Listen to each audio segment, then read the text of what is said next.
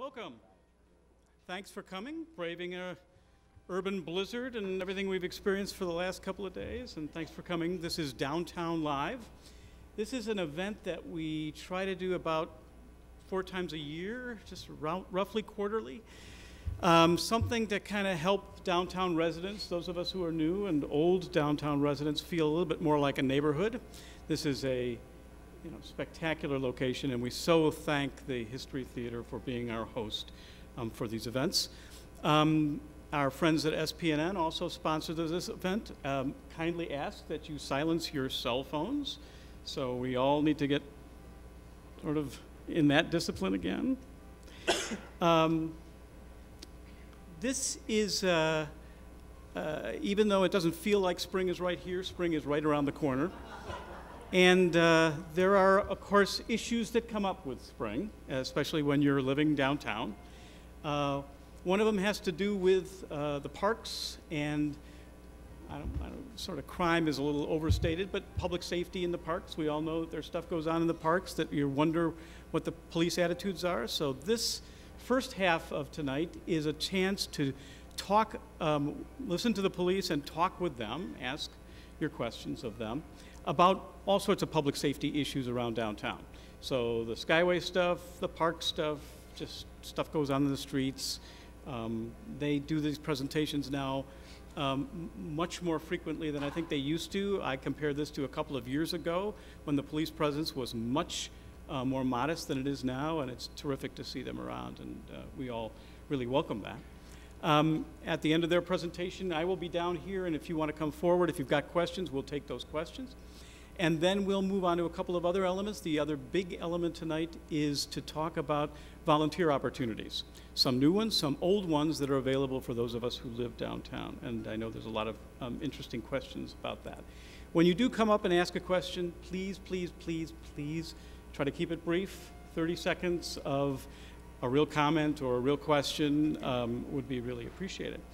And with that, I introduce my old colleague. I worked for many years at TPT, and Eric Eskola and I worked together for 33 some odd years. And so when we did this Downtown Live thing, we turned to Eric because he's sort of uh, uh, sort of perfectly comfortable doing this and uh, curious about everything around the Twin Cities. And so with that, I give you Eric Eskola.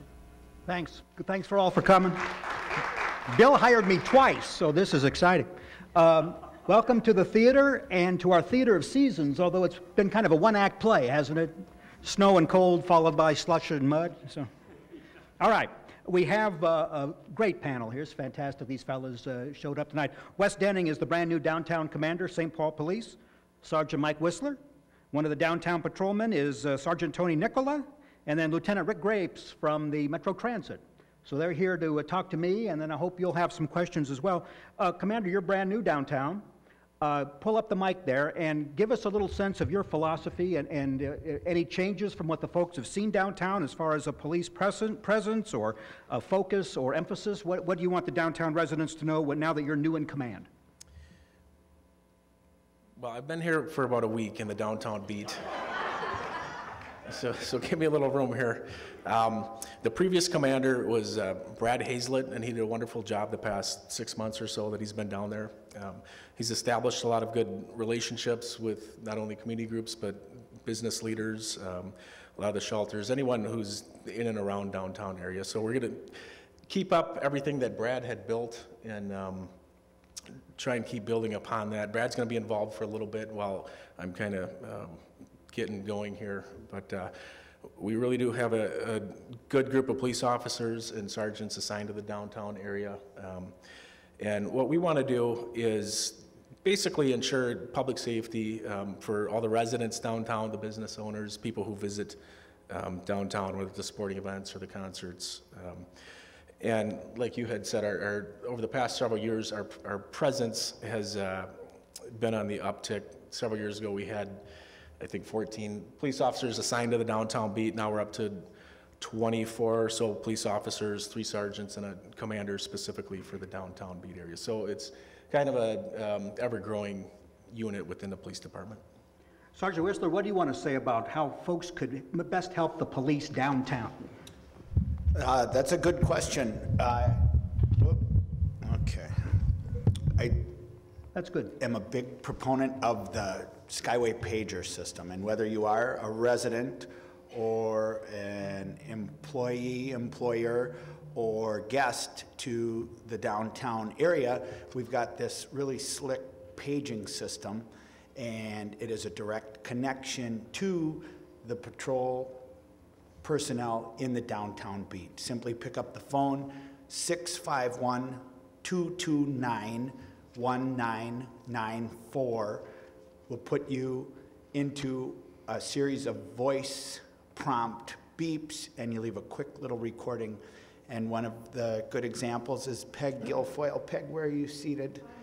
Peg can attest firsthand to what a wonderful tool the pager system is for folks that are in the downtown area. Peg left a little message for us. Hey, Peg, calling here. I'm in the uh, walkway to the library, and there's a gentleman here who appears to need some assistance. Could you please send someone or start someone this way? It bypasses the downtown emergency communications center whereby you're directed to a call taker who asks a litany of questions and then your call is entered into a queue that sometimes is very long. Skip all that, call us directly, leave your name and a callback number and your location, and we'll respond within seconds of hearing your request for the police. 651 229 1994. And really, what I like to tell people is test it before you need it. So, whether it's on your way home tonight or uh, tomorrow morning, give it a call and just say, hey, this is so and so, trying a test page. Mike mentioned this number, uh, but put the number into your cell phones, call us, and we'll come running, literally. This is kind of the see something, say something. Yes, very much so, absolutely. I'd like to ask the Lieutenant Grapes and Sergeant Nicola a little bit to, to tag team on this. Uh, Central Station seems to be a, a focus uh, of some of the activity and some of the uncomfortableness of, that, that some residents downtown have. Uh, Sergeant Nicola, is, is the perception worse than the reality? Is it, you know, is it I'm uncomfortable rather than I'm in danger? And then uh, Lieutenant, a little bit about, uh, is that a, is that a stress point or a focus point for the, the transit police? Sergeant? It, it's going to be perception on, on how people feel, but we, we definitely try to get out there. I'm, I'm in charge of the afternoon shift, and just to break it down um, for you folks to understand, Minneapolis, for example, has five precincts. Uh, St. Paul has three districts: east, central, west. The downtown beat is within the central district, and this is it's a, a kind of a specialized unit. It's it's you have to apply to get in, and just because it's different, it's a different kind of animal. Um, it's a lot more. Um, PR out there and, and a lot more customer service. Not that the other officers can't do it, but it's a, it's a little slower pace, but it's a lot more um, meet and greet and, and talking to people. So that is, is definitely a challenge with, with that area. And part of the problem is uh, one officer said it great. Like a lot of times we're just moving we're moving water in a pool because you get people that, that hang out in one spot and we we is we're police officers. We have a lot of power but we're also limited, and we can only do so many things. So a lot of times we just move people along. Um, getting new businesses down there and, and more people down there, that really helps, and more of a police presence. Transit has done a fantastic job uh, staffing officers there, and, and it's really turned around. And, and the, the degree of honor building nearby is being uh, built up with some apartments. That's going to help a lot. But uh, it's it has been a problem area, but we're, we're trying to have as much police presence as we can to, to fix it. Lieutenant, how about from the Metro uh, Transit Police perspective here? It, it is a stress point. Um, Green Line opened in June of 2014. Um, you know, we kind of rehabbed that area, put in the vertical tower into the Skyway. And one of the biggest things I talk about all the time is when we're doing proactive law enforcement uh, um, details and things of that nature, that you kind of create unintended consequences. And I don't think anyone saw that that was going to be such a focal point after the completion of the Central Corridor project. And we've worked well with St. Paul Police to, to own that, that area. Um, when you talk about that perspec- uh, perception of, of, of what it's like there, well, when you look at numbers, it doesn't look bad, but you have that one bad experience, you know, that everyone always remembers how you made them feel. Sure. And uh, that's the biggest thing is that, is that quality of life aspect of it. What have we done at Metro Transit about it? We've, um, last year, we added two extra officers. We, we have two officers dedicated there, primarily in the afternoons. Last year, we added uh, two extra officers on our morning light rail beat, and we keep, we had kept them downtown in 2017, essentially to try to help with some of the issues in the mornings. But you get, they get called away to, to other things and so forth. What we've done this spring, or starting on January 1st, is we added two more full-time officers strictly to work day shift down there. So you're getting two in the day, two in the afternoon, and uh, then we're supplementing other staffing there um, throughout the day and the period. Um, Last year, there was a little over 5,000 calls for service in that area from Cedar to Minnesota Street along Fifth Street. That area. sounds like a lot. It does sound like a lot, but when you break down what those calls for service are, um, over 50% of them are, are uh, what we would refer to at the police department as proactive police visits. Those are officers checking out on the air saying, hey, I'm down in this area, and um, here's what we're doing. So we didn't get 5,000 citizen-initiated calls. With the increase, though, in all our staffing down there and with the help of St. Paul Police, um, our citizen calls for service, so when you folks are out there and you're having issues and problems, those have dropped about 12%, but the officer-initiated activity has gone up about um, 35%, I think it was, 37% um, since 2016. So basically, the more boots you put on the ground down there, the better it works out for all of us. But you fellows don't think it's enough to keep folks from using that station, do you? I, I- go through there three, four times a week, and I mean, I, I've never seen a, a problem. I, I I wonder if the perception really is worse than the reality, maybe?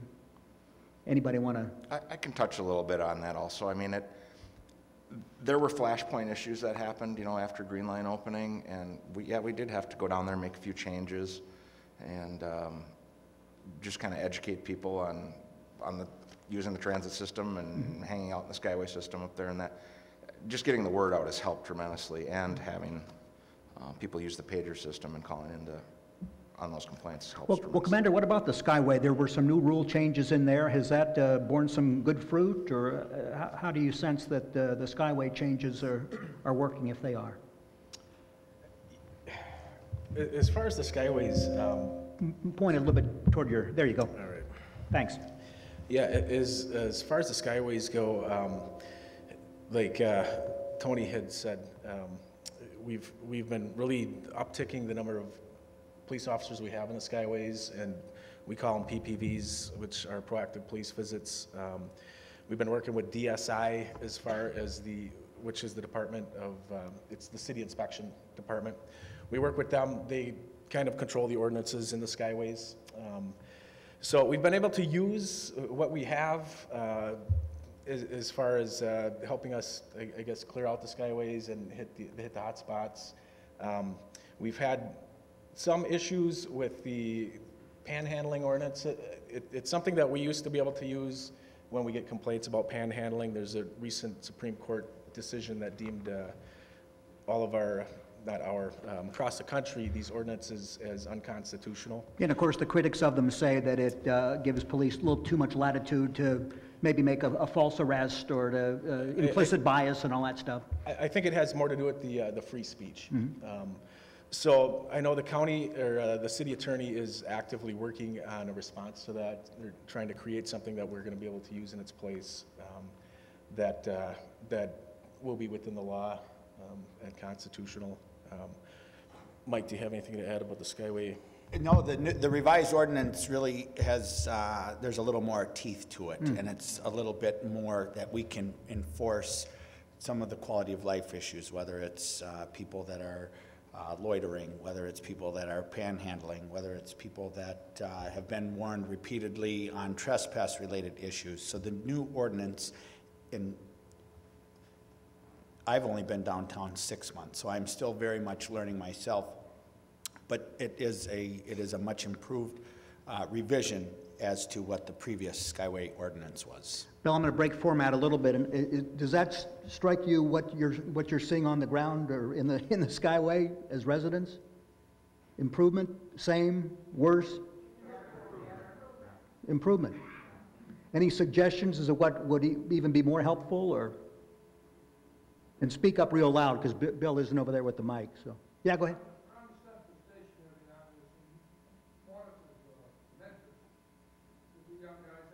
Sure, the ambassadors.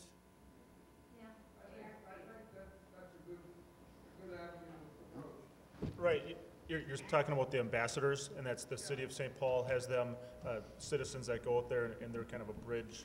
Uh, They're not, they don't have a badge that they're saying, we're with the police department, but they're just to, to work with a youth who not are, aren't always excited to talk to the police. And, and we see them, and it, it works great, they're out there, they, they, they- they're a safe public uh, figure, authoritative, uh, authority that they can talk to and feel safe to. So it takes, we usually try to stay away from them.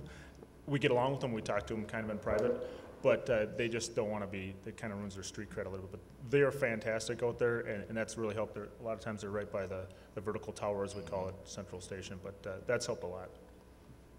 Others want to weigh in on this one? I've got If you, more. if you have questions, you can come down here so Yeah. that uh, we Or- can, Or just yell real loud, I think. well, because the Or- or SPNN spin thing. is- Yeah, so is- if you can come down here, that would really be helpful. Yeah. While you're coming down, I'll ask another one. I, Uh, I, I have one other thing, though. Yeah. The pager system is fantastic, um, but it does take some getting used to. You dial that number, and you hear the most unusual set of clicks and pops and squeals, and then at some point it stops and you just talk. Uh, it is. I, I would just rec- recommend. Uh, I use it a bunch, and the, the, the cops are really responsive. So That's I think it's really really great advice. If I can add something about, Please. about the pager. This is fantastic. It is the pager that you had in the 1970s. But uh, again, all of, all of the downtown beat officers wear one. And i- if you're confused, if you're scared, don't think, I need to look that up. I can't call 911 because the, the guy doesn't have a gun pointing at me. Call 911. If, if you're scared, you're scared. Call 911. Also, uh, we've all heard this for years where people said, I was going to call the cops the other day and I, I felt bad. I didn't want to bother them if you're bothering us and we've got so many things going on, we'll, we'll just have to get to it a little, little bit later. But please call. If, if, I'd rather have you call than us put it a little bit behind than you, for you to not call at all. Here's a question in the crowd, Bill. Uh, Question for Metro Transit Police. When, uh, some months ago, we were taking the Green Line into Minneapolis, and there was a gentleman in the seat behind us who was uh, almost conscious. He fell out of the seat once as we went around a curve. We put him back in his seat. Uh, And, you know, he- it looked like he was sleeping, but we were concerned. I stood there so he didn't fall out again. Uh, Finally, he urinated all over the back of the train. And my question is, at what point, out of concern for him as well as the rest of us, should I have gone up and pushed the red button and asked the engineer if he could contact you folks? I would completely encourage people to use the, the services on the, on the light rail. Um, there is an emergency button on each light rail vehicle. Um, that does put you in contact with the operator, and then they can get a hold of our rail control center, who essentially talks to our police dispatchers. Um, when you're on a light rail vehicle, if you look at kind of the driver's door, you'll see a number on there. It'll be 203A, B, C. Those are important things that we would need to know also. But one of the other things that, that's very relevant to uh, a call like that is, it kind of gets back to the pager system. Metro Transit has just pushed out a new text to TCC, it's called. So if you use text messaging at all, if you're on a, on a bus or a light rail vehicle and you don't feel comfortable, you know, making that, that 911 call where it's you and maybe a group of others that you don't feel comfortable with, that phone number is 612 900 0411. That way you can kind of anonymously call in and say, hey, I'm on this vehicle, this gentleman, I think needs some help. Um, and you're, that, a, a police dispatcher is actually answering that cell phone text. So, so that's not inappropriate to call 911 for something like that? Absolutely not. Okay. No, that, Okay. uh, that- that person might need, you know, immediate medical Yeah. assistance. The number is 612-900-0411. You know, the last measurement was that there were 1,800 homeless in Ramsey County, and I'm sure the vast majority of those folks are in St. Paul or close by. And you have the downtown facilities for those folks. And uh, in the cold weather in particular, those light rail trains overnight become kind of a de facto homeless shelter because you, you see the folks sleeping on there. And uh, you know, you, you feel badly for them because if they have nowhere else to go, it's at least a warm place. Yeah, it- the, everyone's kind of dealing with the homeless uh, dilemma. It's, it is a big issue in society right now. I just had a meeting today with some folks from uh, Radius Health and People Incorporated. They have a project called Outside In. On Wednesday mornings, we've actually been bringing a a Metro Transit bus down to Union Depot Station and working with outreach workers down there to try to get services for these folks. Obviously, it's, uh, you know, it,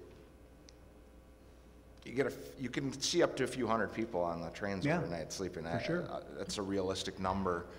And it is, it's where are we gonna find places for these folks to go? But I guess if we keep chipping away at it, a little bit of, at a time, we should be able to come up with some type of a solution. Well, society dumps these problems on you guys, and you're stuck with protecting us. Uh, In the last budget, I I think the, the number was, uh, I think the council added six new police officers citywide and a new mental health unit. A- And maybe the mental health unit might be a particular application downtown. Can you talk a little bit about what that uh, unit is going to do or is doing? Sure. Yeah, the, uh, the new me- mental health unit is uh, run by um, Officer Jamie Sipes. He, uh, he has kind of made it one of his uh, priorities in his policing career. I think he's got 20 or so uh, policing years on, so he's got a lot of experience, and it's something that he's kind of taken to heart. And um, I, I believe Officer Sipes was the one who came up with the idea and uh, brought it to the administration, and um, they were fully behind it, 100%, and they've added three police officers, one assigned to each district under Officer Sipes. Um, And they, it- hasn't been up and running for too long, but they've done a fantastic job already, um, dealing, when officers are dealing with people that are possibly mentally ill, or there's some type of um, issue related with that. Uh, They'll come out to the scene, they have uh, specific training um, to deal with situations like that. They're, uh, they come out right to the scene if, if officers need it. If they hear something on the radio that they think may deal with it, they'll respond to it. Um, And we're gonna be leaning on them a lot downtown because, uh, as Lieutenant Grates mentioned, the, uh, it's, the homelessness is a bit of a dilemma right now. And um, I know a lot of it has to do with uh, mental illness and Yeah. mental health of the people that we deal with. Um, So as far as our new mental health unit, I think it's going to be great for not only the police department, but the city and downtown as a whole. What, what is your, your fellow's experience of uh, mental illness or drug or alcohol uh, uh, addiction as uh, the gateway to the problems that these, these fellows uh, provide for us? It- It's something I learned years ago. I was, I- prior to this, I was at at a different agency, and I said, at this certain area, I said, well, how many people here have mental illness? And, and the lady said, uh, well, they all do, it's all just varying degrees. And that's what we, we deal with. And this mental health unit i- is fantastic, and, and a lot of things that they do is kind of behind the scenes, like they work on a certain uh, person that we have constant problems with, are several people, and they work with the hospital about giving, getting a civil commitment and getting them the help they need, because arresting them isn't a solution. And, and we get called, and, and they've got their issues, and then us showing up, we're, we're kind of a Band-Aid approach, and, and, uh, but it's, it's fantastic, we're just getting them the help that they need. When I speak to classes, and women, you women in the audience will enjoy this, I, I usually tell classes that if it weren't for men making bad decisions, the nightly newscast would be about 25 seconds long. John Manila has a question. Um, As far as parks downtown uh, and the homeless, uh, it's not illegal for a homeless person to use a park, Uh, but it comes a point, if they're setting up camp or whatever it is, when it, it becomes a problem. Uh, When is that, and what should people do? Commander, That's, yes, th- th- that's been a, um, an issue that repeats every year. We do have a city ordinance about encampments, um, but it's kind of hard to enforce uh, how it's, uh, how it's set up right now. We do have, uh, in the central district, two police officers who are assigned to the force unit, they work on the day shift. uh, Officer John Filowich and Officer David Quast. They work with DSI, which is inspections again. And once we get reports of this, um, by all means, if, if you're in the park and there's some kind of issue, you can call the pager or you can call non-emergency number, you can call 911. Um, But let us know that it's happening. What the force unit does, Officer Filowich and Quas, they work with DSI, they'll go down to these parks. As you had said, anybody can use the park, but the park rules apply. So when the park is closed, they're not supposed to be there, there's, their camp isn't supposed to be there, they're not supposed to have a pile of stuff there. So what they do, they go to, with DSI, and they'll talk to whoever they find down there that's possibly camping. Um, They give them a 48-hour notice, Um, they can write them a citation.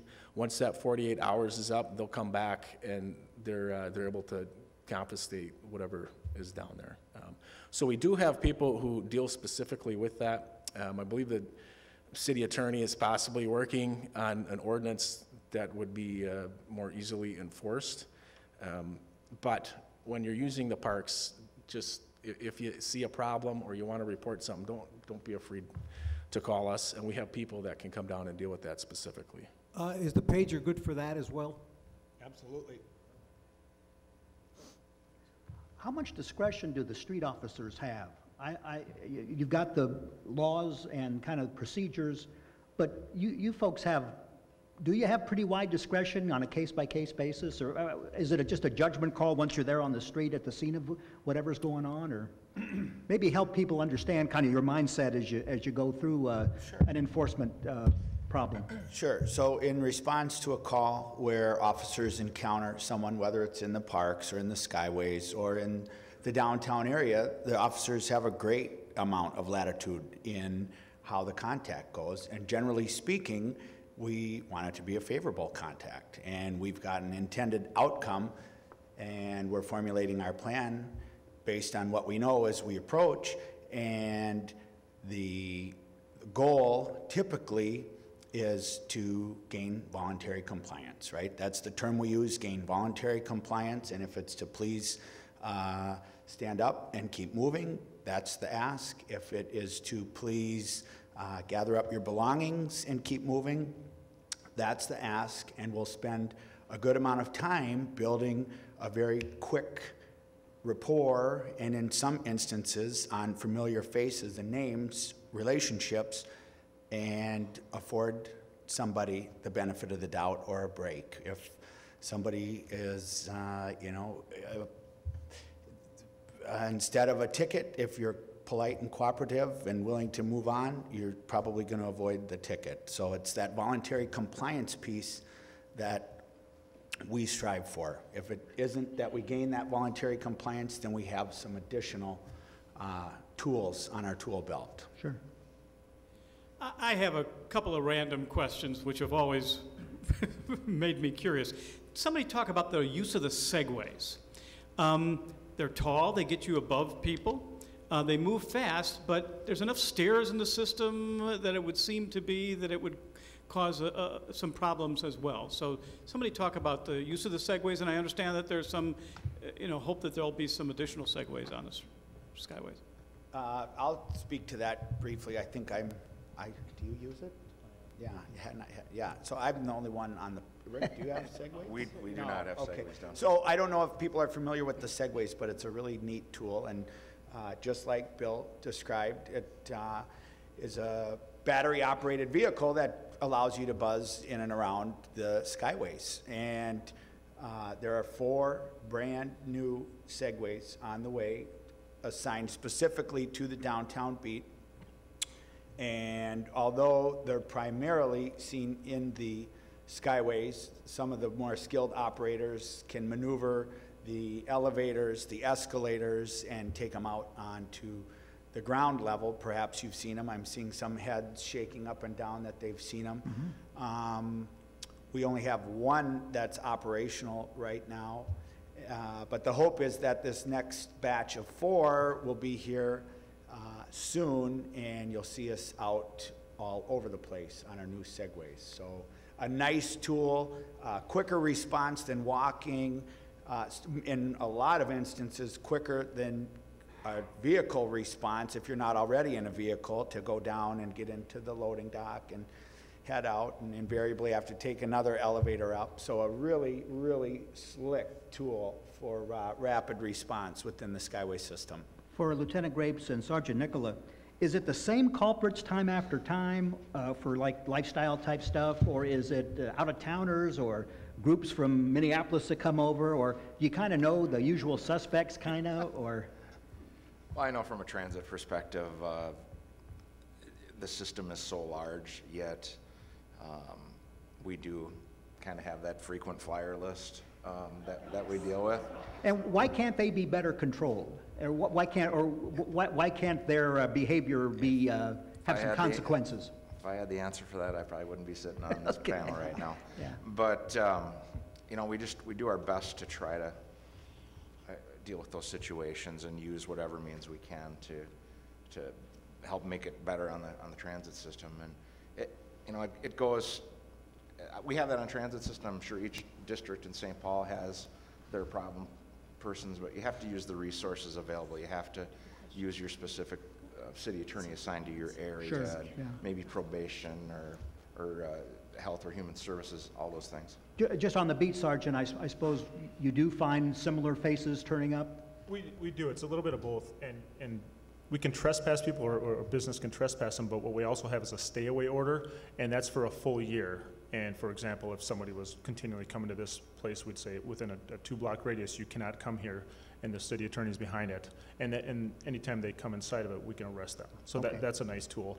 So we have a lot of the people that we see a lot of the time, the, s- the similar people, but also since there's so many events and so many more events coming down, people come to St. Paul from out of, out of state, and it's their time to get as intoxicated as they hu- humanly can, and, Sure. and we get a lot of that, that too, so it's. As it's a- more it's a events come downtown, the greater the possibility for mischief, I Right, suppose. Yeah. right. Bill?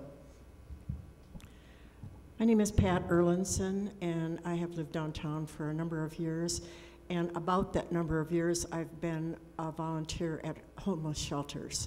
And you just answered your own, one of you asked the question, the other one answered it, and that is, they are mentally ill, many of these people, or have addiction Right. problems. And so you were saying, you know, are these the same people? Well, of course they are because they haven't had medical attention that they can get. Their medical attention usually is going into an emergency room, and we know how expensive that is, but if that, you have no other place to go. Right. I am also a part of Listening House right now, and they are struggling, and I think probably many of you have read about them in the paper about the fact that they are not wanted where they are. Mm-hmm. And where are they wanted? No place, I guess.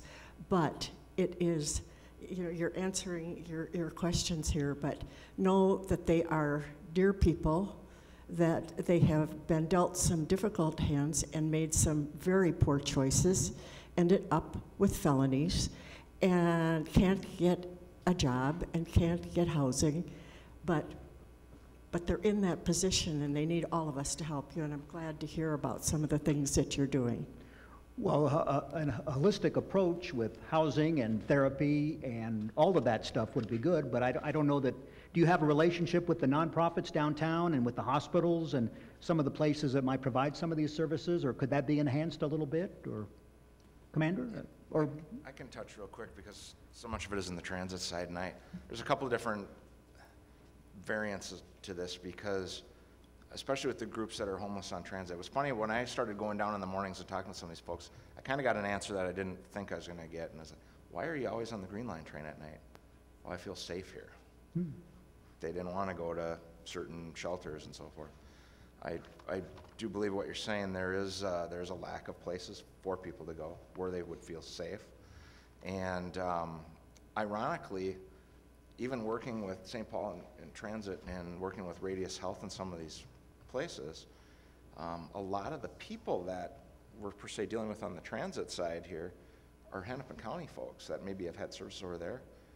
And Radias or Ramsey County cannot provide the services for them. So it, it's really going to take a lot of bigger effort um, geographically to, to help solve that. Uh, Sergeant, you want to comment on, on this, the, the, kind of the relationship with the nonprofits and the folks with the addictions and so forth? And- Well, it, it's really turned around recently where all, every officer in the entire department of St. Paul needs to be uh, critical, um, the critical incident, what is it? CIT training, team training. And, and what that is, it's a full week, 40 hours that every officer goes through, and we speak with people from all these different shelters, former vets, people that are, that are struggling. We go to, to different um, homeless uh, shelters, and it, it's a, it's a really, really good perspective for officers who, who've been, been doing this for years, just to see that side and to know the people that we're working with. And we have a lot more people to refer to and a lot more places now, but they're struggling too, because there's only so much, so many spaces for them to go. Sure. So, But, but it's, it, we're a lot better trained than we have been in the past. Hi, my name's Chris Tomford. I live on Wacouta Commons. and so thank you. You've been very responsive to coming there. I would call most of the stuff sort of high level annoyance, not crime. I grew up in New York City, so I'm maybe uh, immune to overt violence. But uh, two questions. One, uh, what I don't know what the um, city of St. Paul's Police Department or the Metro Transit uh, position is on the use of deadly force, and uh, that's obviously a major national kind of crisis that we all live through. So I'd be interested to learn more about that from you all. And uh, it's a friendly question, not an antagonistic one. And then secondly, is there, are there issues that you face that we might be helpful for, hel- helpful in addressing or dealing with and so forth? So thank you. Commander, deadly force, uh, I guess there's a new, uh, hasn't the policy been tweaked a little bit, or? Yes, our, uh, our use of force policy was uh, recently changed quite a bit. Um, We, we had several members of the training unit. Um, We worked with outside agencies. Uh, I know they did a lot of work in this past year um, to update that. I am not a uh, use of force expert, um, so I don't want to speak too much about that. Um, How does it affect the beat cops? Uh, yeah, so, so our use of force policy was updated, and we sent everybody in the department through the uh, new training. Um, We have new policies and procedures put into place, and uh, I think it's been received very well with, with the police officers. It's something that um, our use of force policy needed, and the, the officers who worked on it did a really great job. Yeah, I believe if you want to, uh, if you want to look at it or read it, you can go on to the St. Paul Police Department website and uh, read about any changes that were made. Um, Okay. How about uh, body cameras, while we're on the subject of new, uh, you, you, you street guys use the, bo- the body cameras, or? Right there, there it is. We all have to, At- every time we're, Sh- we're- Show, show the folks, uh, can you see that? It's just uh, on, on the, Suppose we could pass it around. Anybody want to? well, every single officer has to have this on and functioning and recording when we are in contact with a citizen. So it's really changed the dynamics for those of us that have been around for a while, where if the four of us are on a call and these two are dealing with a unsavory character like yourself at the end there. Yeah. And, uh, I've been known to act out. We're in the back, we could talk about what we did last weekend, what we're doing next week, and whatever else, and now we're being recorded, and, and just, it, it cleans things up a little bit, and it just, it shows what the person's doing, and, um, and if there's any evidence, or if they show, if, if they're, uh, making some comments or doing some things they shouldn't, then we, we have evidence against them, or if they Yeah. later come back and make a complaint, said the officer was very rude, and then we'll say, well, check the tape. Let's go to the tape. Right, right. And then the, the questioner asked a little bit about, is there some pet peeve with law-abiding citizens that they could change to help you guys out? You, you mentioned the pager system. Is there anything else that uh, you want to get off your chest that these law-abiding folks could help you out a little more than they do? I, I just think that we can't fix things unless we hear about them, so Very keep good. hammering away at us and letting us know where the problems are, and so we can put our resources there. Good. Hello, I'm Kathleen Conger. I'm a librarian at the George Latimer Central Library. And I wanted to piggyback on what Pat was saying about homelessness and mental illness and drug and alcohol abuse. Many people who are experiencing homelessness have mental illness and are self-medicating with drugs and alcohol, which is why the two go hand in hand many times. At the Central Library, we are striving to create a welcoming environment because we're very close to the higher ground. Uh, and so we offer computers. We have our innovation lab, which is, we'll be talking about later. Um, and many of our members are experiencing homelessness. And also, once a week, we host what we call CROP. It stands for Community Resource Outreach Project, where the library puts on the coffee and opens our doors to uh, organizations that serve people who are in need. So, People Incorporated, Radias Health are regulars. They are there every week.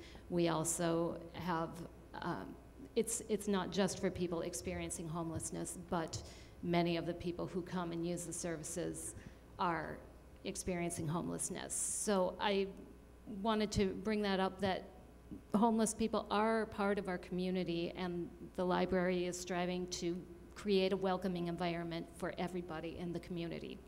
Thanks. Thank you. And as far as outreach, you guys have Coffee with a Cop, and you have the periodic community meetings, I think pretty regularly scheduled, so. um, But I think what we've learned here tonight, Bill Hanley, is that this is a human resource problem as much as anything. You take away the mental illness and the drugs and the alcohol, and you, these guys would not have as much to do. I mean, and I'm, I'm, I'm not saying that to be funny, I'm, I just really think that's what's going on in, in large measure. But, uh, uh, you know, I just, uh, somebody who walks around the skyways a lot and who's, uh, walks around the parks a lot, um, it is so much better than it was a couple of years ago. I mean, it's, it is, uh, you know, there's still DSI kind of issues, messy stuff and all of that that we've got to pay attention to. But in terms of the actual acting out stuff, I mean, I, I feel like it's a vastly improved downtown environment. That's great.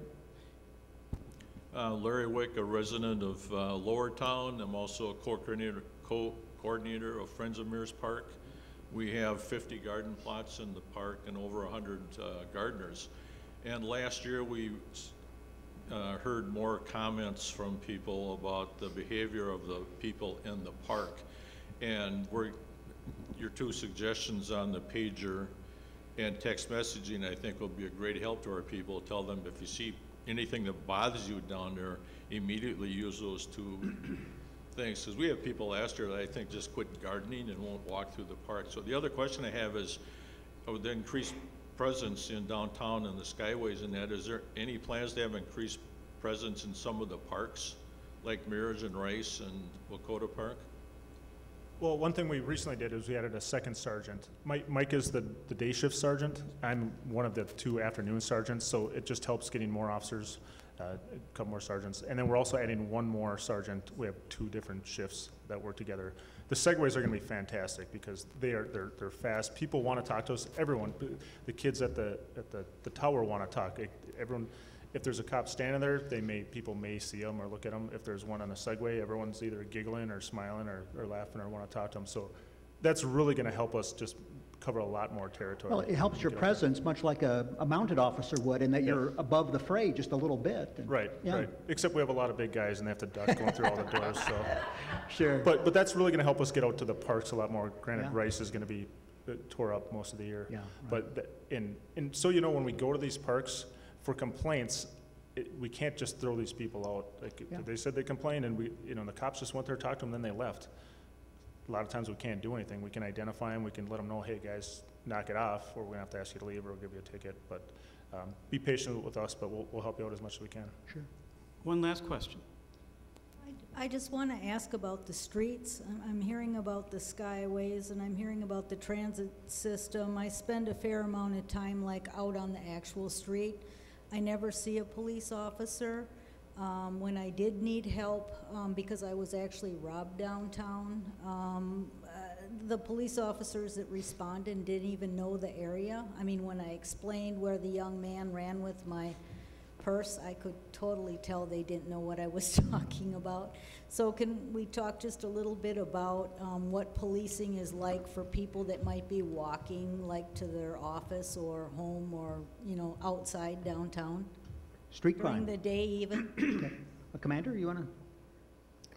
Or Yeah, Mike? uh, Fair question. So you're right, we probably do emphasize our uh, Skyway efforts a little bit more, uh, but the men and women assigned, assigned to the downtown beat have the responsibility for covering the street level as well. And uh, this is a good reminder that perhaps we need to spend a little more time outside and on the sidewalks and in these uh, entry level, garden level uh, areas Um, If you get an officer that isn't familiar with the area, that is suggestive of the fact that you don't have an officer from the downtown beat assisting you.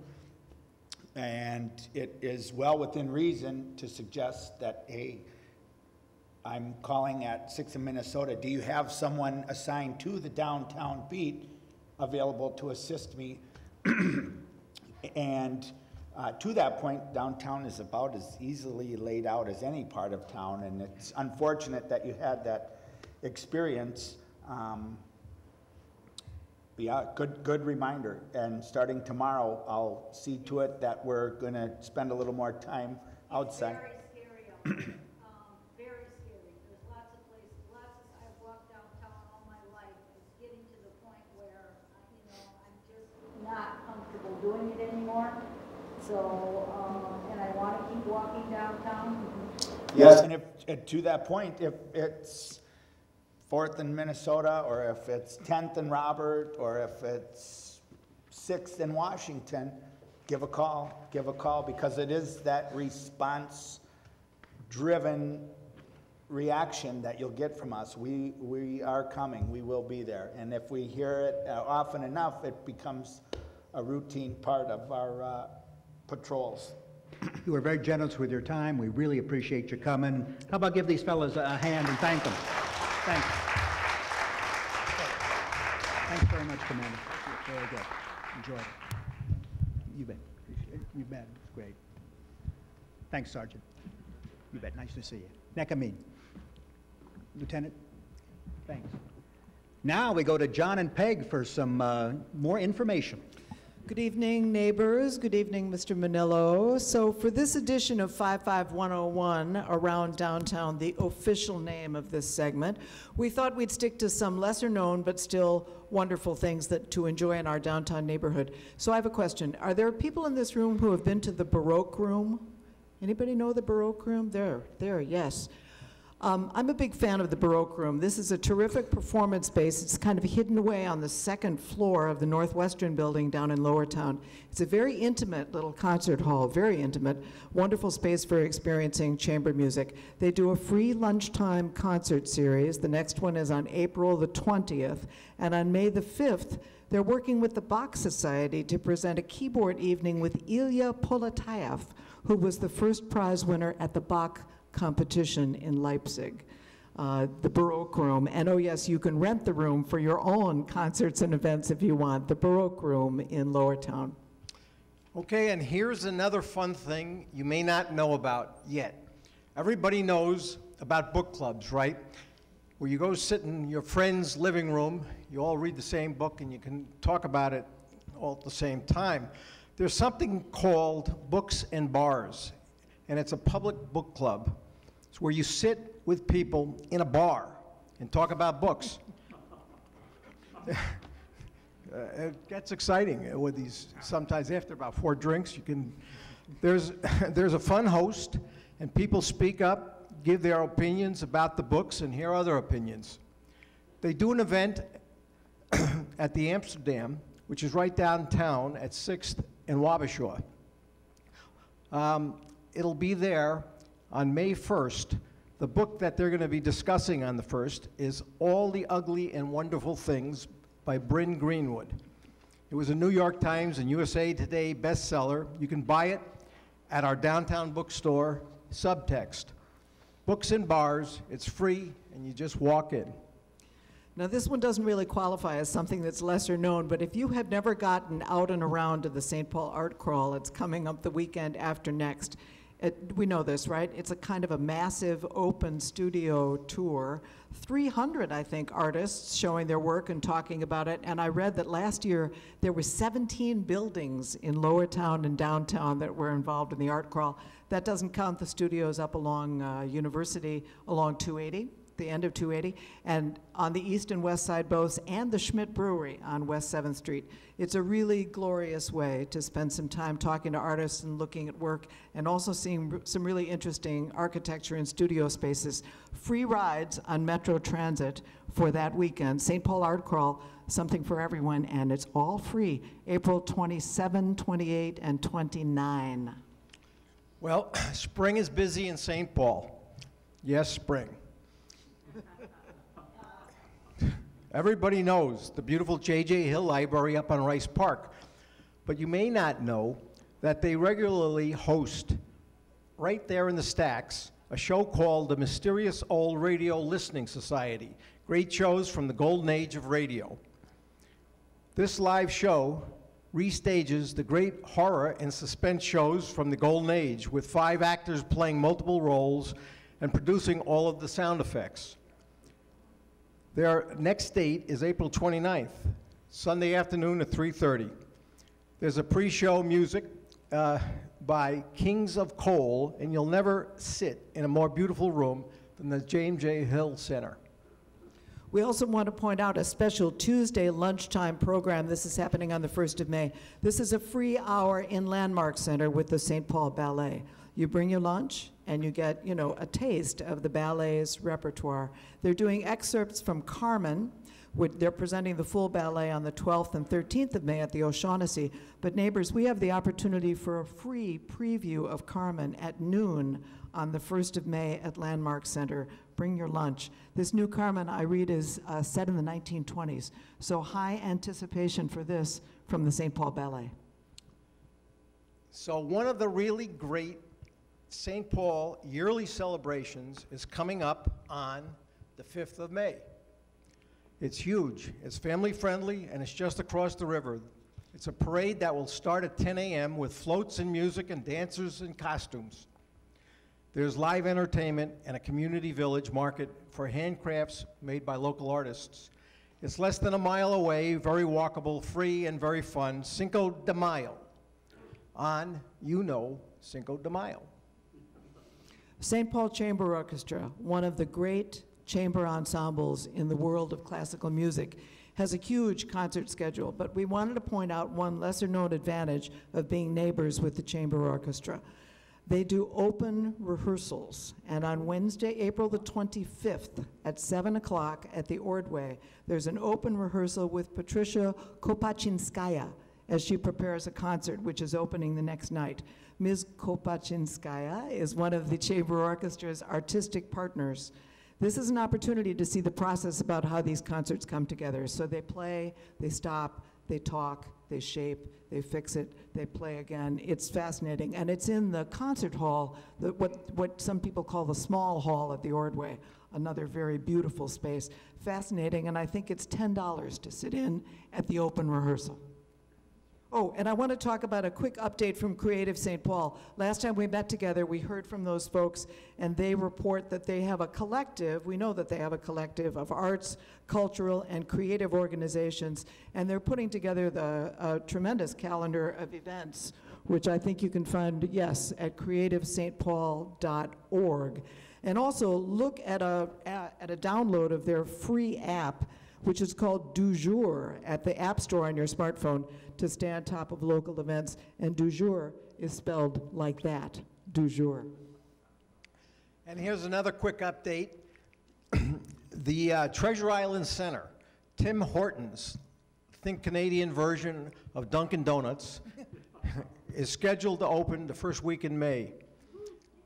Yeah, well, even better, Cancun Billy's, a Mexican barbecue bar and restaurant. They hope to open by late summer. And that huge, huge hockey mural up, up on the side of the building, Sixth and Cedar, should finally be done by the end of April, or at least by the next Super Bowl. and again, all this is at Treasure Island Center, not far from downtown, but feels far away when you get there, is Holman's Table. It's a more upscale restaurant at our downtown airport terminal just across the river and afterwards you can catch a plane and really get away. Well, Loma, the tamale shop in Town Square, after being closed for six months, is back by public demand. And I have to mention Rice Park. It's set for a $2.3 million revitalization whenever spring arrives, with an official start of construction on May 17th, set to be completed in late fall, but it will be closed this season. Speaking of parks, there will be three input meetings, quote, input meetings, of the Pedro Park Design Advisory Committee for April, May, and June. Information for these meetings is going out tomorrow morning.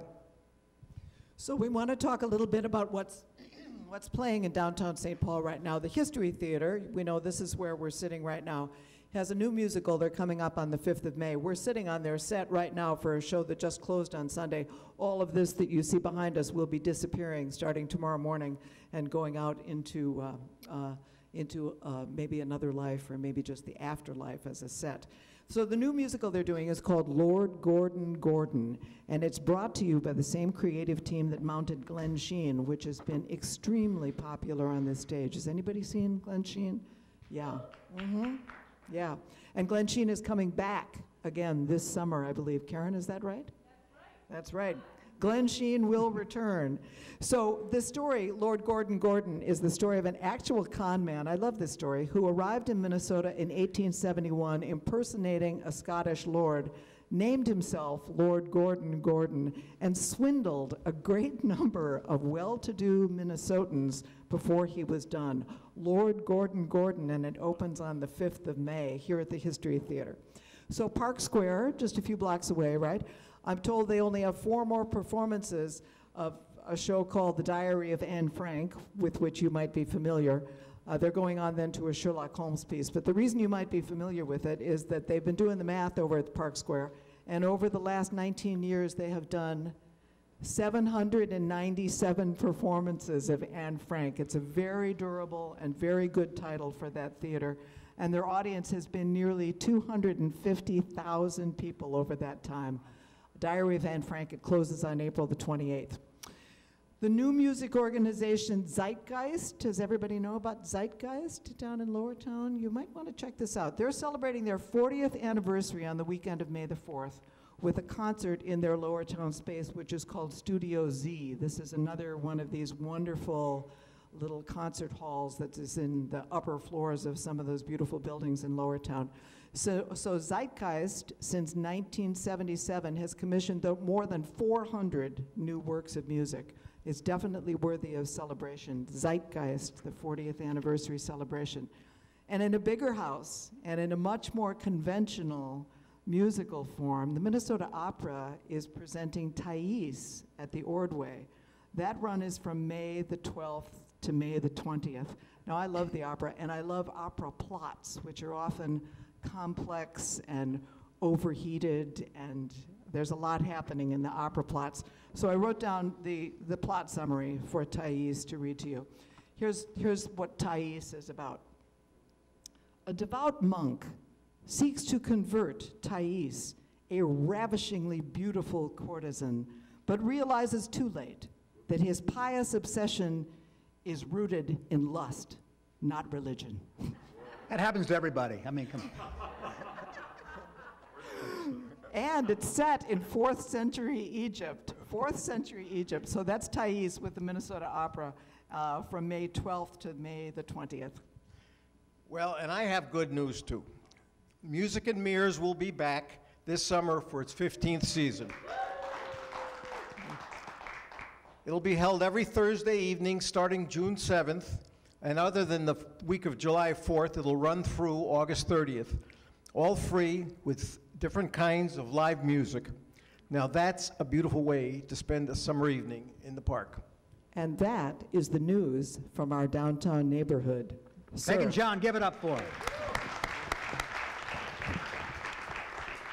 The Downtown Live crew really spared no expense and has gathered together the cream of the downtown volunteer coordinating crop to tell us about uh, summertime volunteer activities.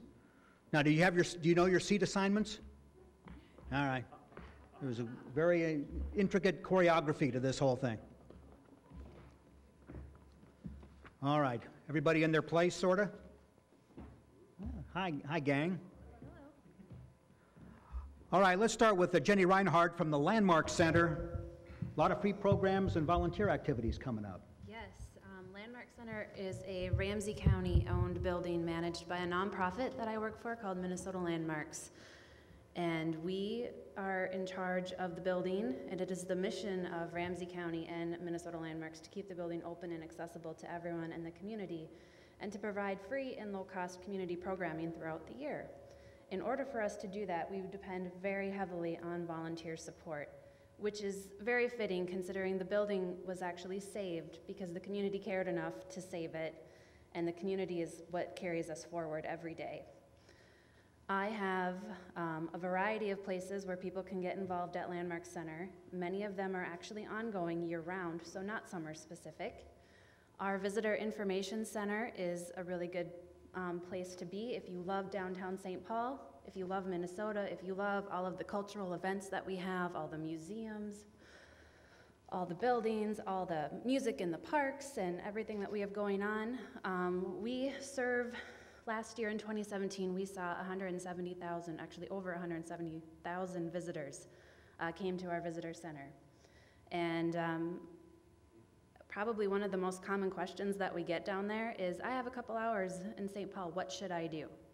So if you have a passion for St. Paul and you feel that you could answer that question and you have a variety of things that you think people should see, um, that would be a good place uh, to consider volunteering. Uh, we operate the desk um, every day of the week, and shifts are three hours. We usually ask that you just pick up two shifts a month if possible. And Age um, limit or requirements along those lines, or? limit? You mean the age out of this?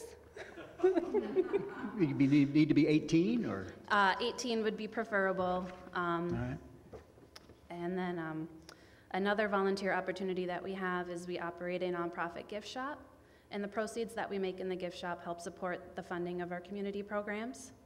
And it also serves as a place for tourists to come buy postcards, little souvenirs, but also for the downtown folks to be able to buy a quick gift. Um, we know that retail's kind of struggling in downtown, so uh, Landmark Center has a great gift shop. And tours. We offer tours of the building, and those are also operated by volunteers. So if you love architectural history, um, love an audience, uh, that's a good place to start too. Do you know anything about this Lindbergh kidnapping discussion tomorrow? It's on Wednesday. Was it on Wednesday? Yes. It's free at noon, right? It is. I might check that out. You should. Jenny, is that covered pretty well? Yes. And how do they get in touch with you? Um, you can reach me directly on my phone number, which is 651 292 3237, or I'm listed on the staff directory uh, on our website, landmarkcenter.org. And I do actually have a volunteer with me that has volunteer packets. Great. Oh, Um, fantastic. So I have, and I have my business card with me as well. Well, You came prepared, thanks. Did. Kayla Boettcher, Kayla, Science Museum, A lot of perks for the volunteers. Yeah, so I'm from the Science Museum. My name's Kayla Boettcher. I'm Get a little closer to the mic, there you go. I'm the volunteer coordinator at the Science Museum. Um, I'm a small uh, two-person department, so it's me and my boss. Uh, it's pretty fun. We look for volunteers year-round. Um, we our busiest season started back uh, at the very beginning of March with uh, field trips, uh, and it will go all the way through Labor Day. So this is a season where we really could use extra hands, but we do recruit volunteers all year round. We have a bunch of different positions, including event volunteers, where you pretty much fit events into your schedule and you only work six uh, events over the entire year. But we also have weekly, bi-weekly, uh, and summer program volunteering. We also do behind the scenes and group volunteer programs as well. So it's kind of, you can get hands-on with visitors, but you can also step back and work behind the scenes to help us prepare supplies. Uh, and those, uh, a lot of those um, positions range from knowing, you know, Mississippi River biology, ecology, to physics, chemistry. Uh, we do paleontology. We can we have volunteers downstairs in our labs working with the scientists that we hire, uh, as well as doing visitor services in the lobby with us. So there's a lot of range uh, at the museum. A lot of you know that the museum that we're in now, we've only been there for about 25 years.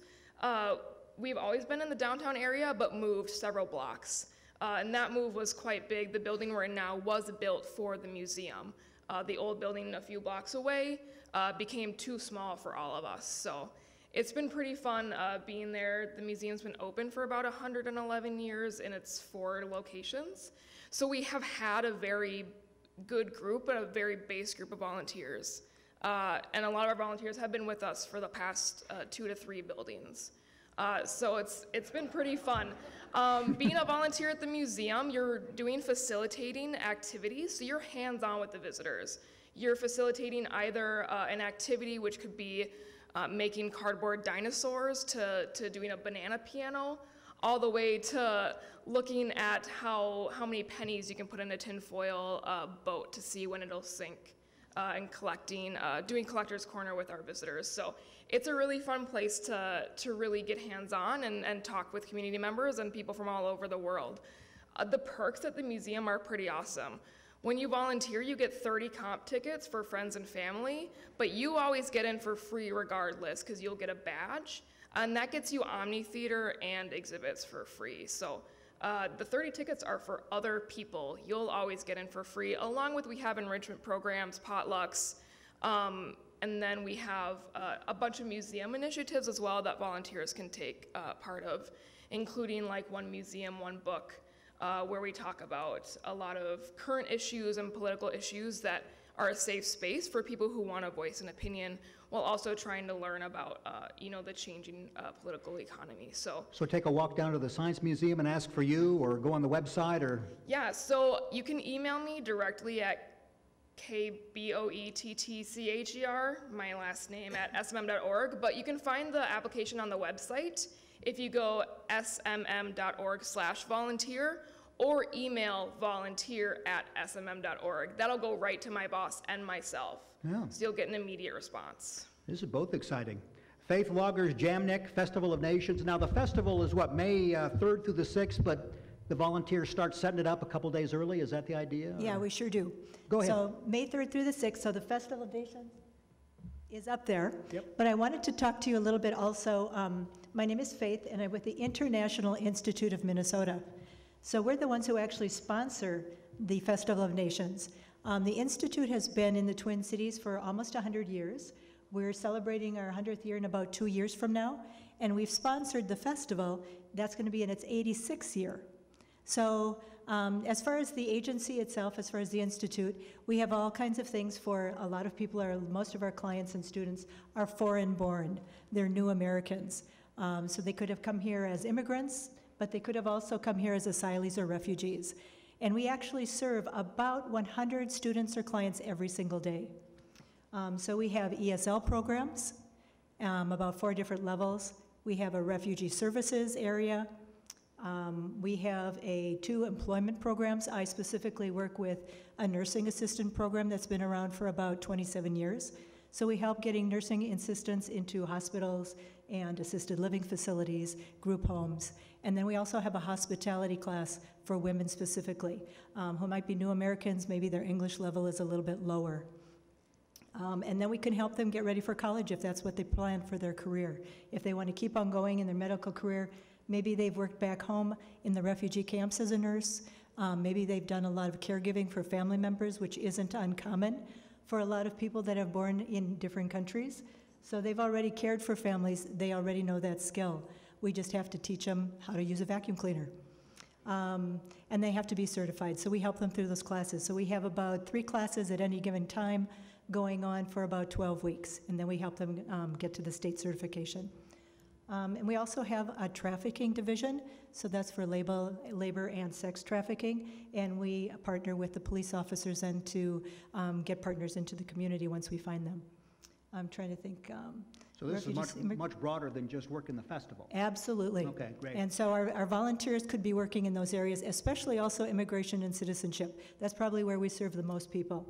Most of our volunteer opportunities at the Institute, which is located right across from the State Fair on Como and Snelling, um, are going to be day opportunities, Monday through Friday, because that's when our students and clients are there.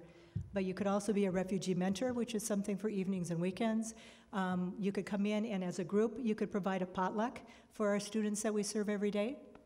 But then um, I'm going to talk now about the festival, and that's the one that I'm really here for you right now, because that's where I need 500 volunteers by May 3rd.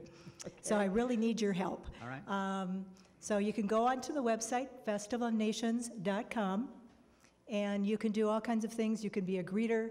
You can help with serving some of the food. You can be giving information if you've been to the festival before. Um, You can, you know, there's different variety of, of things that you can do. So you go to the website Festival of Nations. On the top, there will be tabs for Thursday, Friday, Saturday, and Sunday.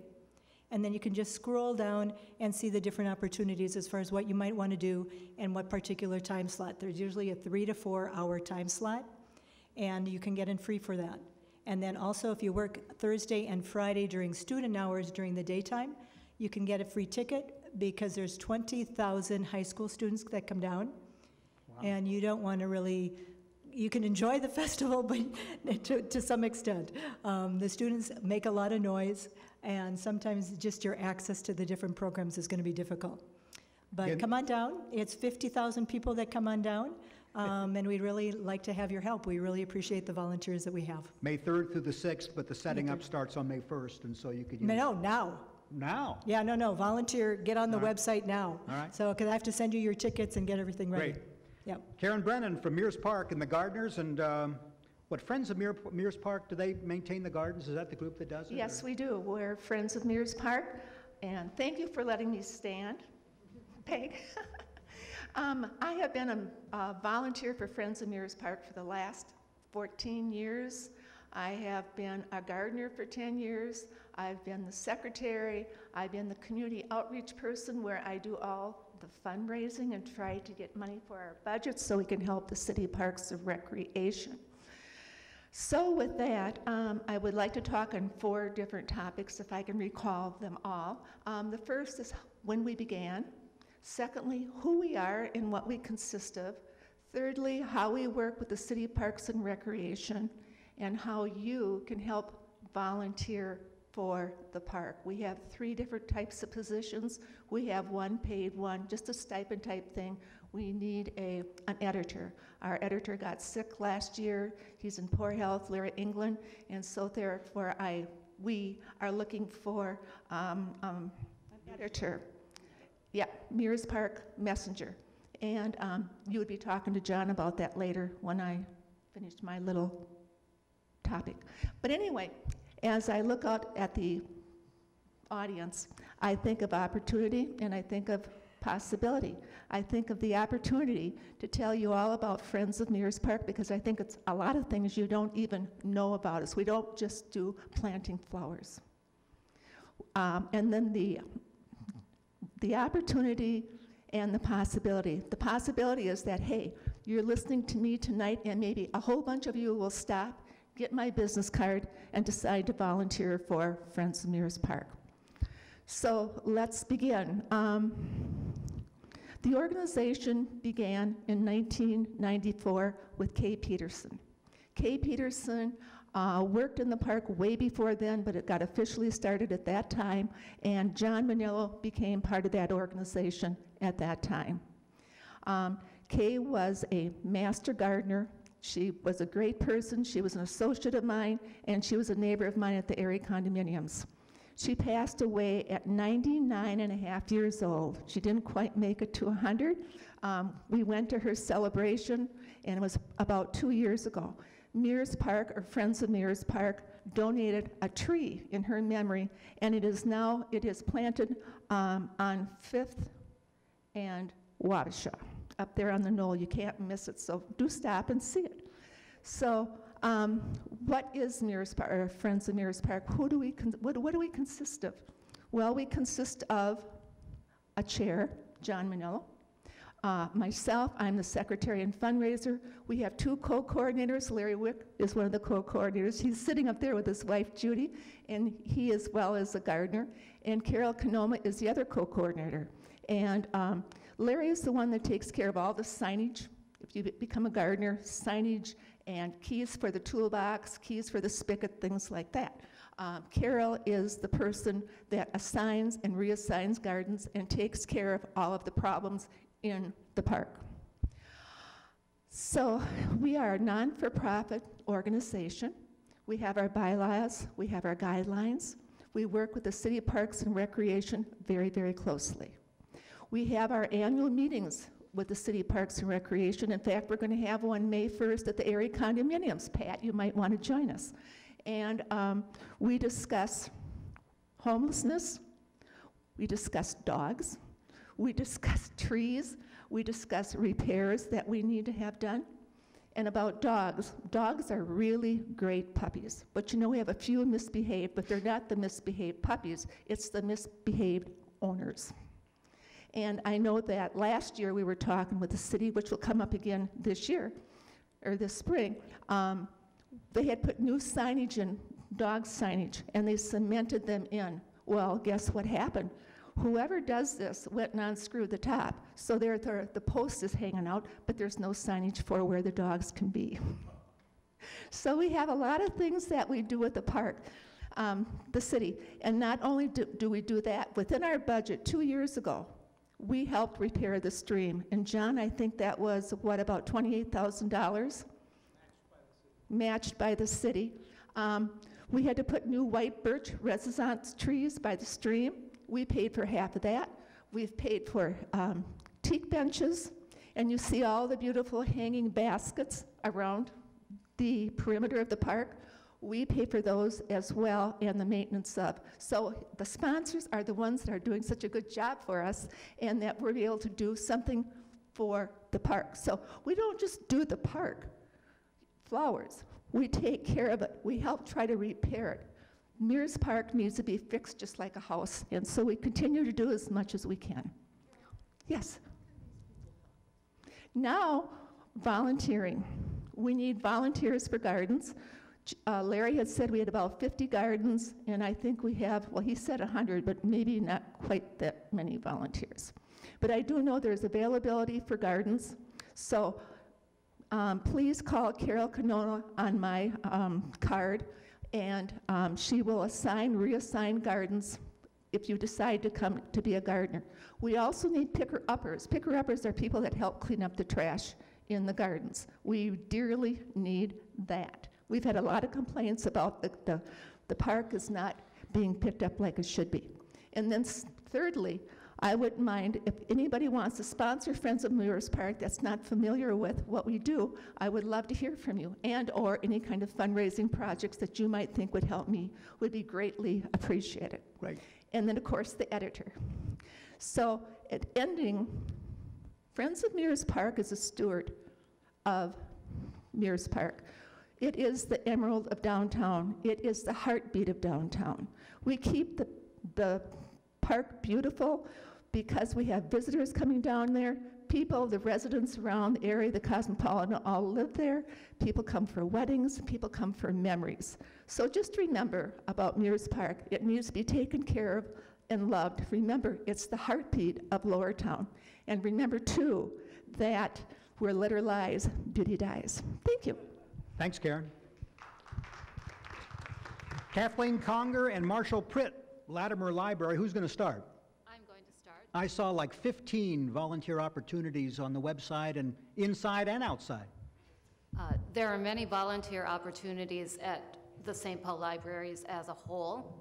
Uh, we are here to talk specifically about the George Latimer Central Library, which is the beautiful 100-year-old building built in the style of Italian Renaissance revival. In September 2015 through January 2016, we underwent a fairly major renovation, and our innovation lab was born out of that. So the Latimer Library provides the traditional library services. We do have books, but so much more. We also have computers. We have much programming, and we have our very exciting innovation lab, which Marshall will be talking about. Uh, also, we provide services for the communities, such as CROP that I talked about during the question and answer session with the police. So when you think of the library, think on beyond books.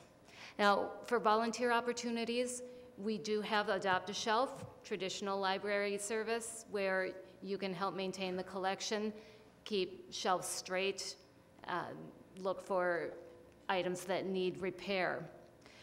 We also need uh, volunteers for special events, and we have a very special event coming up. We will be a gallery site for the St. Paul Art Crawl. And so We need you to come and visit us because in downtown we are a geographical outlier.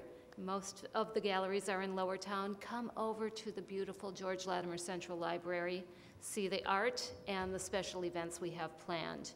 I also look for greeters for that event and, um, and people to help at other special events and concerts that we hold at the library. Now Marshall will tell about the Innovation Lab and the opportunities there. Grab a mic there, Marshall. Thanks, Kathleen. Uh, so Kathleen kind of touched on it. Um, in 2016, when the library reopened, um, one of the main features of the renovation was uh, the third floor, the Nicholson Workforce and Innovation Center. So um, that, that included um, a lot of brand new public internet computers, but also um, a classroom and an innovation lab. So the innovation lab is um, it's an adult makerspace, so 18 plus, and what that means is it's kind of you know, it's, it's, it's a makerspace, right? Like you make things there. So we have um, a laser engraver, so you can engrave um, woods, plastics, glass. Um, we have a vinyl cutter, so you can um, make stickers. We have two 3D printers. If you've ever been interested in that, come check it out at the library. Um, we've got digitization equipment, so if you have um, old VHSs or cassette tapes or records, you can bring them to the library and have them turned into digital files that you can keep forever uh, that will never degrade. We have an audio recording studio, so you can record um, you know, yourself talking, you can make a podcast, you can make music. Um, we have a soundproof recording studio. We have a couple of study rooms that are soundproof as well. Um, and five sewing machines. Is it five? Six now. Six. We just received another donation. We also have a serger, if you're familiar with what that, what that is. Um, we have a lot of yarn. We have knitting supplies. Um, so really, any kind of making activity um, could happen at the library, and we have um, volunteers who volunteer sort of across the spectrum of those things. So we had um, a very dedicated volunteer who ran a 3D printing class. She actually is uh, on uh, maternal leave now from the library.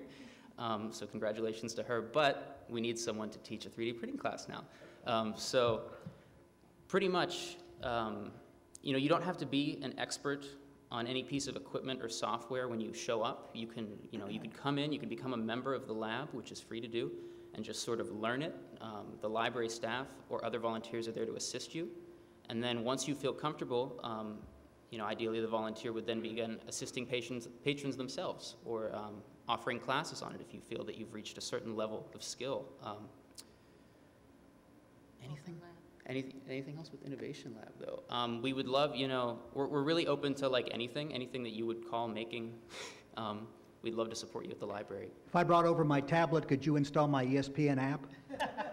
That would actually be better suited. That's a great segue. Um, that, that would, yeah, that would be better suited for um, our Open Lab, which is a service that we offer um, currently four days a week, uh, three hours a day. That's currently staffed by myself. Um, and the Open Open Lab, it's an You open could do computer it. lab. Yeah, absolutely.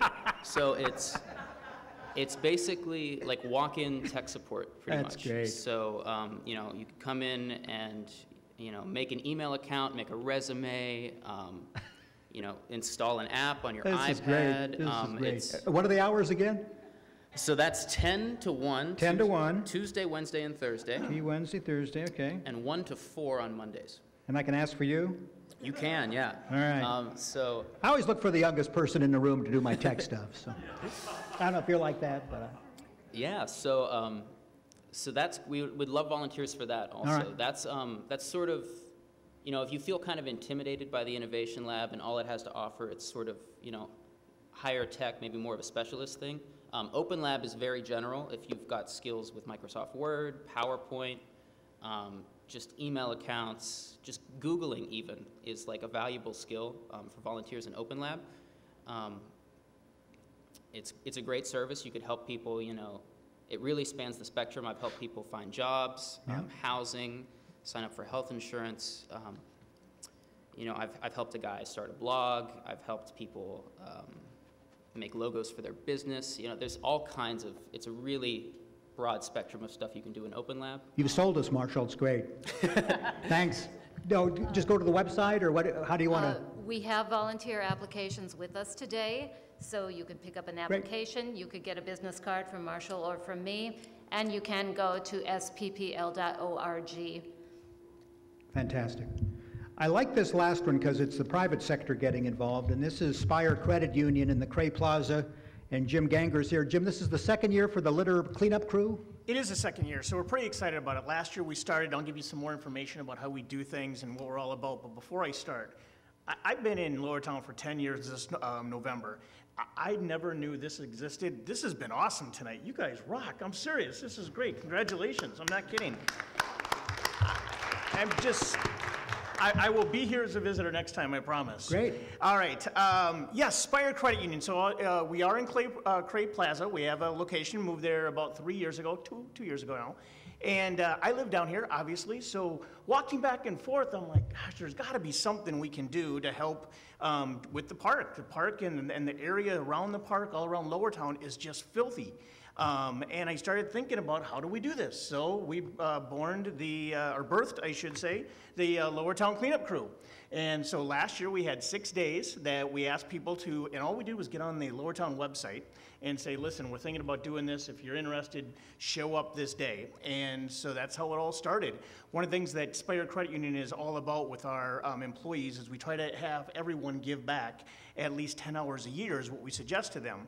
And so this was just a nice way for people to come down, some of our employees. Well, then all of a sudden we got some residents that were showing up, which was great. Uh, had a couple homeless individuals that offered to help out, and they just wanted to get the cookies afterwards, which was great.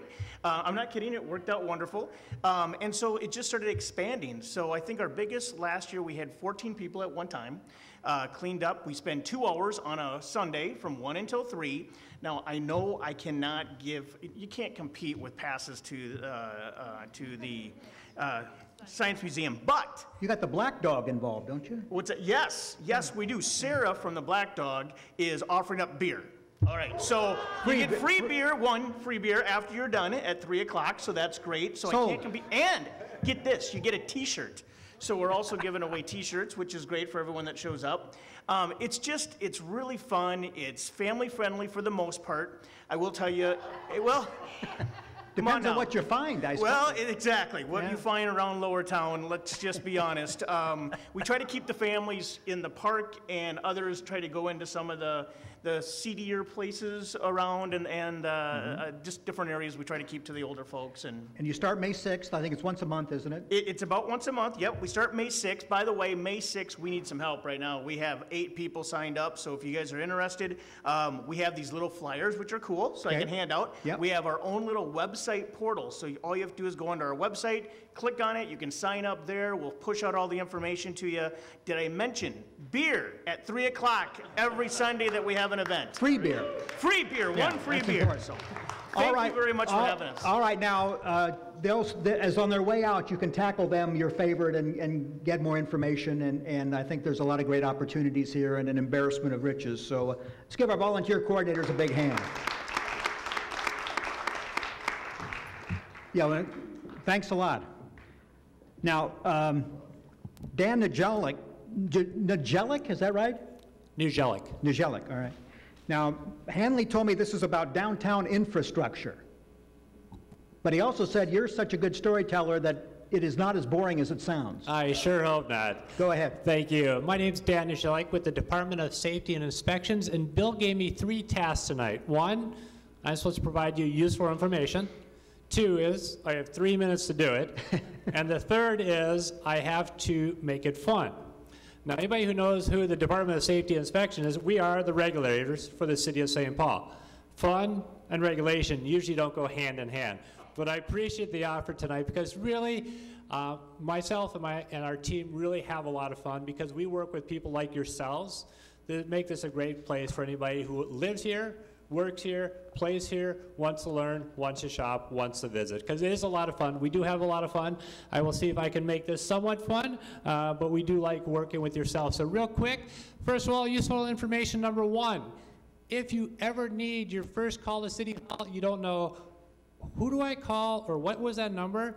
651 266 8989. Um, we have a staff, you will actually talk to a live person. You don't have to go do one, do six, do seven, do one. You will talk to a live person. They will help you connect who you're looking to. If you know who you need to talk to and you have their number, go ahead. But if you ever have a question, this is your one call to City Hall for information complaints. We handled over 80,000 calls last year, took in 30,000 complaints. And one thing we're also measuring is you can also send a compliment. And we receive a lot of those. We're going to start measuring those too. So information complaints compliment 651 266 8989. We're looking to grow it so we have even more services, but we really want to be a real strong source of information for yourselves or a way to get compliments and complaints to the city of St. Paul. Second useful information for those of you who use the Skyway, we now have a web app. So one of the things we've heard is people get lost in the Skyway. So working with our Office of Technology, we've created a web app. Web app. Um, go to stpaul.gov backslash Skyway. You can click on this, and you can then get a handy dandy app on your phone. You click on where you are, it will tell you Skyway hours, what's around, and things like that. So another hopefully peaceful information for yourselves. Moving right along, um, one of the questions that's come up in the Skyways is we have some public urination issues. I was happy to find out that we are not alone in the world about having public urination problems. The city of Paris, uh, a wonderful city, um, is addressing theirs using these public urinals which then are used in the bottom is a bale of straw um, that it uses for flowers then. But no, we're not looking at this, uh, but we are doing a survey of restrooms in the public skyway system to make sure there are public restrooms for customers as well as visitors. But Great. I'm happy to report we share something with Paris. So. Moving right along, um, we also work with short-term rentals, people who want to rent their house for short-term. We've gotten past the Super Bowl craze. Sure, rent your home for $10,000 per day. Yes, we saw those signs around the city. We are currently in the process of anybody who is operating a short-term rental, if that's you, um, you do need a license in the city of St. Paul to operate a short-term rental. We have a really simple process for doing it, but we want to make sure for the bad actors, we have a hook to take them out of business. But for the good actors, we're doing a lot of education with people. A lot of these are new business operators. They don't realize they're a business operator. We want to make sure they have like proper insurance to protect them and their guests, but also know how to operate a business. Moving along, the Department of Safety and Inspection, through the um, wonderful um, um, gift of the council and the mayor. We have a $1 million um, technology uh, budget this year. We're doing a number of things. Has anybody ever used St. Paul Connect or SeeClick Fix? No? There's a good, that's actually a good thing. We've had some problems with it, so we're going to completely redo it. So I'm glad nobody used it because I hear all the problems. We are actually going to shut down um, our St. Paul Connect, and we're actually going to come up with a good app. And what SeeClick is, SeeClick Fix or St. Paul Connect is, you're going along, you see a problem, you see graffiti, take a picture, and you send to us via your phone. The problem is when we initially um, op, um, introduced it five years ago, it was not integrated into our system so you never got a response back whether it ever got resolved or not. This summer, we are going to take it down, bring it back. You'll actually be able to give us a complaint based on a photo and click on the button. And when it's resolved, which it will be, you will get notice that it's been resolved. In addition to that, uh, for our business customers, as well as anybody who has a alarm permit or that with us, so or dog licenses, um, we will have a brand new portal, which will be basically your portal to the city of St. Paul to do business with us. So if you want to get a license, um, you need a dog license, alarm permit, things like that. We're going to roll out a brand new portal. This is what they have in New York City. Ours, of course, will be better. Um, but it will be you come in, you can do all kind of business with us, one portal, one door to the city of St. Paul. We'll roll it out this year for business licensing and continue to grow it as a city such that any business in the future that you do with the city of St. Paul would be going through this portal. But this year we're rolling out for business licensing, alarm permits, animal licenses, and things like that. And rolling right along, another part of our technology improvements, electronic plan review. So let's say you want to build a building in the city of St. Paul. You usually have to bring in this tree. They're usually about this round and about that tall. They're major plans. And so basically, all our staff have to read through the plans. Well, we're going to get rid of all the trees, and they'll be able to uh, submit them electronically. So we're saving trees. Um, a better thing for the environment, more importantly, we'll be able to more efficiently do business in the city of St. Paul. So those are all parts of our $1 million technology investment this year at the Department of Safety Inspection. So you're going to see much improved services. And finally, the final note of the night is there is a lot of great things happening in the city of St. Paul, uh, a lot of investment, but um, as you can see here, this shows um, the total valuation of construction permits occurring in the city of St. Paul. Wow. And in 2017, we hit a record, the most um, construction activity we've seen in the city of St. Paul. It is a great time to be in the city of St. Paul. A lot of great things going on. We want to work with you, have fun doing it, because it's a whole lot more fun doing regulation when you're having fun and working with yourselves.